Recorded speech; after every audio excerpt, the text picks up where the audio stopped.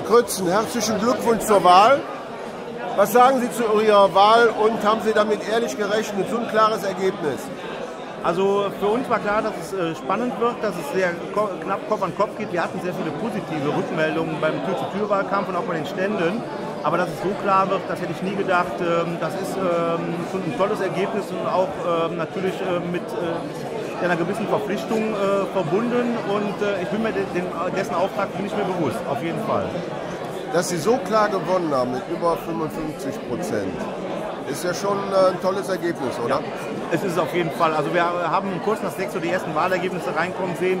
Und als wir dann gesehen haben, dass wir Elsen gewonnen haben, Kapellen gewonnen haben, also eher konservative Stimmbezirke, da haben wir gemerkt, es könnte gut laufen. Dass es sich so herauskristallisiert, ist Wahnsinn. Äh, und es ist eine große Verpflichtung, ähm, aber ich bin mir der Verpflichtung auch bewusst. Ich wünsche Ihnen für die nächsten Jahre als Bürgermeister hier in Grevenbruch alles Gute. Vielen Dank, Herr Stanier. Dankeschön.